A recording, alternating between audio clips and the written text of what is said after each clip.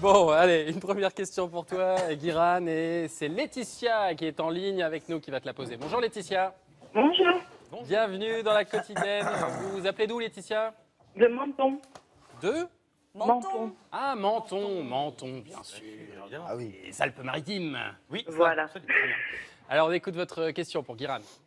Alors, je, je voulais poser une question à Guérin, parce que nous partons euh, faire un road trip en Floride euh, dans 15 jours. Oui. Et je voulais voir un petit peu ce qu'il pouvait nous conseiller, un petit peu hors des sentiers battus euh, ultra touristiques. Vous partez en famille Vous êtes euh, avec des enfants? Alors, on part à deux familles, hein, Ouais. quatre adultes et puis euh, deux enfants de 10 et 14 ans. Alors, D'accord. Alors, bonjour Laetitia. ne est regarde pas- le ciel, tu sais, elle est Bonjour. pas. Oui, c'est Là, elle le est- côté de. Elle est là, regarde devant toi, elle est là, elle est là. tu vois. Excusez-moi, j'étais perdu. C'est Dieu qui me parle. Je suis m'entendre, je ne sais pas. C'est là-bas, c'est là-bas. Bonjour, comment allez-vous Laetitia? Bien, vous? Alors, premièrement, très bonne idée de partir en février parce que c'est une saison un petit peu intermédiaire. Ouais. Donc, c'est déjà, premièrement, on a des logements qui sont un peu moins chers. Alors, moi, ce que je peux vous proposer pr- euh, là, c'est-à-dire que si vous n'avez pas forcément envie d'aller à Disney World ou euh, au studio Universal, c'est de euh, miser aussi en Floride sur tous les parcs naturels. Alors, évidemment, il y a les Everglades, les Everglades qu'on peut faire en. Mais il y a une manière de visiter les Everglades dans le sud qui est en kayak.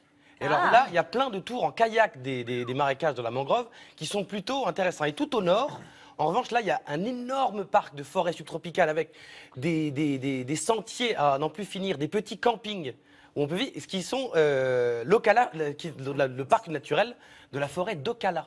Ah ouais. Ocala. Exactement. Ça, c'est au nord euh, de la. Ça, c'est au nord de la Floride. Vous pouvez aussi aller Oh là là. euh, vers Clearwater. Donc ça, c'est plus vers la baie de Tampa. Donc ça, c'est au-dessus. La baie de Tampa, il y a énormément de choses. Il y a l'aquarium euh, où on peut nager avec Ah les oui. poissons, par exemple. Ça, c'est Ah, plutôt.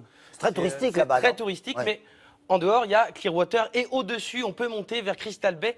Et là, là-bas, on y mange d'excellentes huîtres, par exemple. Ah. Excellentes huîtres. Donc vous À Grandville aussi. hein. Oui, en Bretagne. à Grandville aussi, on mange des huîtres. Et Ah. aussi, l'archipel Key West, ça c'est peut-être un petit peu touriste, mais c'est quand même à faire, parce qu'il y a énormément d'îles Ouais. dans l'archipel Key West, qui là est dans le golfe du, Mex- dans le golfe du Mexique, au bas, sud de. Miami. Exactement, c'est un archipel avec Key plein de West. poussières d'huile. Mais c'est extrêmement réputé, Key West. C'est là où il y a des fêtes de folie. Hein. Exactement, il y a des, il y a, il y a des, il y a, il y a- il y a des fêtes incroyables. mais il y C'est a un chapelet d'îles comme ça. C'est un chapelet d'îles avec des îles où, qui sont beaucoup plus calmes, notamment en février, parce que c'est avant le Ah oui, spring le break. spring break, ouais. Ah bah Là, tous les étudiants américains, Ouais, là, ouais, c'est euh, là c'est plus exactement la même ambiance.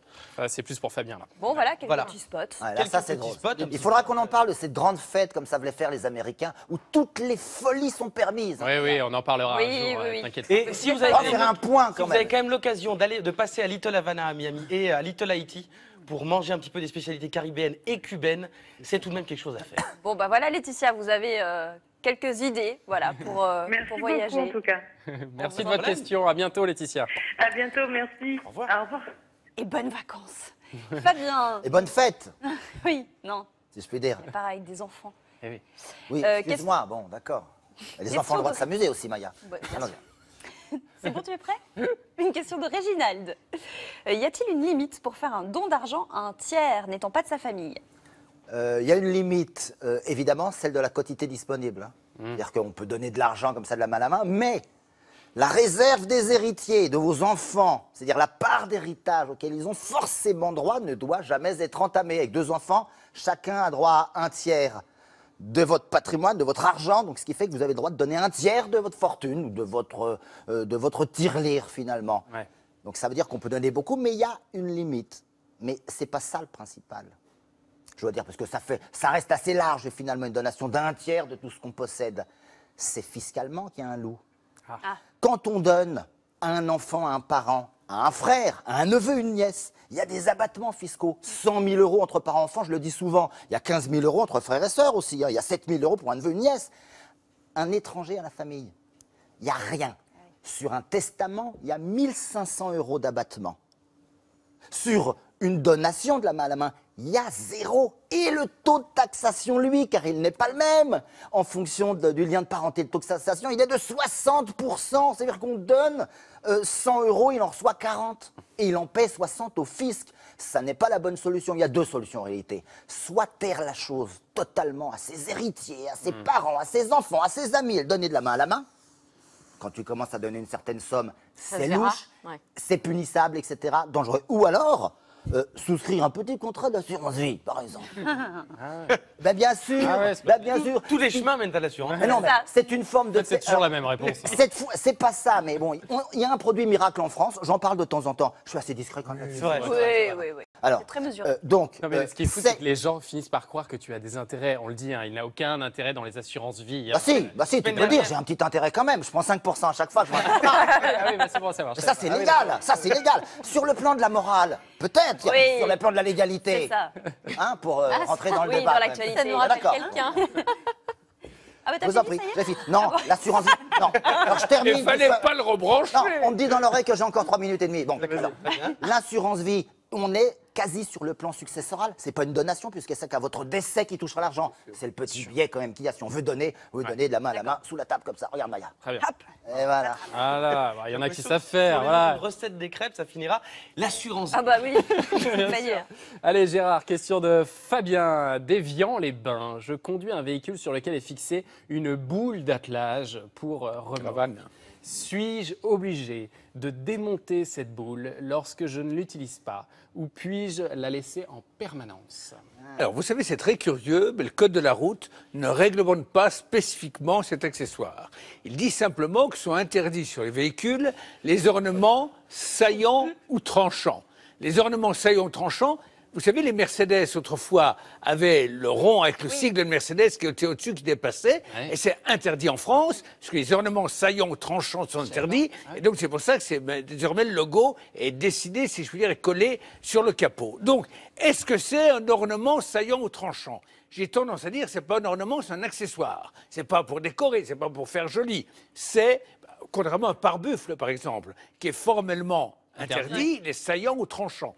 Et donc, euh, le, à mon avis, la boule d'attelage d'une remorque ne rentre pas dans cette catégorie. Bon, enfin, donc je dirais, T'as jamais fait un créneau Ouais. Tu t'es jamais euh, Attends. accroché sur la boule j'y euh, viens. d'attelage Ah. Donc je dirais que sur le plan de l'infraction, il bah. n'y en a pas. Ce n'est pas interdit. Par contre, les assureurs, eux, considèrent que ça crée un danger particulier supplémentaire et refusent de couvrir lorsqu'on crée effectivement en se garant un choc à la voiture derrière en disant fallait dévisser votre accessoire euh, à partir du moment où il n'y avait pas de remorque derrière.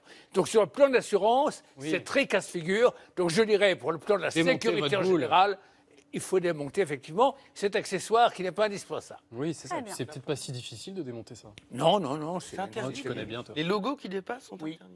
Donc il faudra que je revende ma Rolls-Royce. donc. Tout à fait. Voilà. ouais, ouais, J'en ai pas, ça tombe bien. Jaguar. Mélanie, une question de Carole. Comment faire pour enlever A. Les traces de calcaire sur les parois de ma douche? On y vient.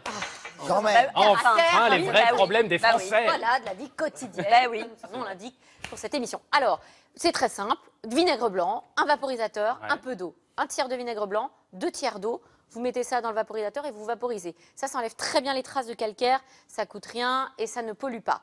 En revanche, si vous ne voulez pas vous amuser à nettoyer ces vitres, effectivement, qui vont avoir des traces euh, en permanence, ou même la baignoire hein, qui peut avoir des Ah traces ouais. de calcaire, la seule solution, c'est d'enlever l'eau, puisque c'est l'eau qui laisse des Tout traces. Donc, une fois que vous prenez votre douche, raclette, Ah ouais. et vous enlevez l'eau ou alors chiffon Ouais. et vous séchez l'eau. C'est la seule solution pour C'était comme ça chez mon grand-père, je trouvais ça insupportable. À chaque fois, il fallait passer la Ouais, raclette. ouais, voilà, c'est pas très sympa. à la maison, les enfants, ça les fait 10 jours, mais ouais, les adultes moins. Ah, c'est bien ça. Voilà, tu peux. Eh, tu veux jouer? Allez, on y va jouer ce soir. c'est vrai que ça dépend de l'endroit où on vit en France, parce qu'en fait, tu as des endroits où l'eau est beaucoup plus calcaire Ah que d'autres, et donc tu as des endroits où c'est très embêtant parce que ça va te laisser des traces au bout Ah de ouais. deux Ah secondes, bah, ouais, ouais. alors que euh, à des endroits l'eau ne laisse aucune trace et donc c'est beaucoup moins gênant.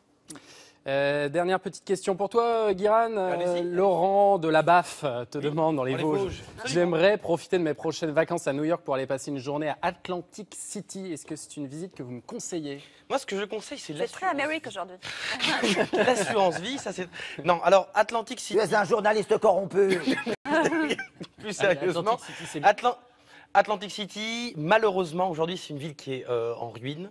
Aujourd'hui, c'est une ville où il y a énormément euh, de crimes organisés, il y a beaucoup de trafic de- d'héroïne. Ouais. C'est pas la ville la plus glamour. C'était un peu le Las Vegas. de la C'était un peu le la Vegas de la côte. Avec des casinos. avec des, ca- avec des, ca- avec des casinos, puisqu'ils avaient en fait euh, l'exclusivité des jeux d'argent sur la côte Est, qui avait été négociée d'ailleurs par des gens qui étaient assez proches du crime organisé, qui avaient monté euh, la ville sur le boardwalk, là, sur le- la, la jetée. Aujourd'hui, c'est en ruine. D'ailleurs, Donald Trump a fait des bascules, puisqu'il avait des énormes hôtels de luxe qu'il a, qui- qu'il a complètement laissé en plan, mais qu'il a revendu juste avant que ça se... Ah. Et donc, là, d'ailleurs, la ville en a pâti énormément, parce qu'il y a des, des constructions qui ne sont pas finies. Lui, il a dit, c'est formidable, j'ai fait énormément d'argent. C'est vraiment quelqu'un de très bien. donc, si vous avez une journée à New York, allez à Coney Island, ou allez un petit peu dans les, Ouais. dans les, dans les Hamptons, pas forcément Atlantic City. Très bien, merci beaucoup. Si vous aussi vous avez des cas pratiques pour nos spécialistes, n'hésitez pas, France5.fr, ils y répondent chaque jour avec talent et bonheur.